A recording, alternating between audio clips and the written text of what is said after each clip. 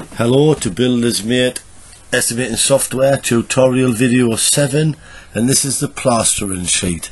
Now this is the simplest sheet of them all because you haven't got to type in a thing. It's took all the sizes, what you've put in before, stud walls, plasterboards for the ceiling, you've got there plasterboards for RSJs which is something you'd forget about but it's £20. The only thing you need to check on this sheet it breaks everything down for you so you can have a look. The only thing you need to check on this seat is really the height.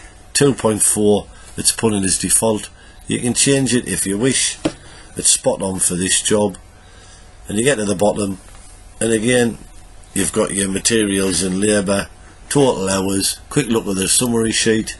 You haven't had to type one thing in that sheet and it's building up nicely it's a tiled roof so these cells will not be filled in but we'll do a video following later. Uh, back to the plastering sheet when I find it scroll to the bottom and you can't get any simpler than that.